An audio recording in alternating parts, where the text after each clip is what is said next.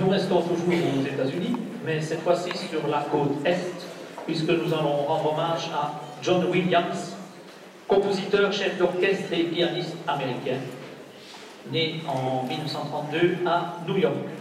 Il est principalement connu pour ses musiques de film. On lui doit le renouveau des bandes originales symphoniques avec ce qui reste son œuvre la plus célèbre, la musique de la saga Star Wars. Compositeur attitré de Steven Spielberg et de George Lucas, Williams a composé au cours d'une carrière qui s'étend sur près de 60 ans à un grand nombre des plus célèbres musiques de films de l'histoire d'Hollywood, notamment Les Dents de la Mer, les sagas Star Wars, Indiana Jones, Superman, E.T., Jurassic Park et les trois premiers films de la série Harry Potter.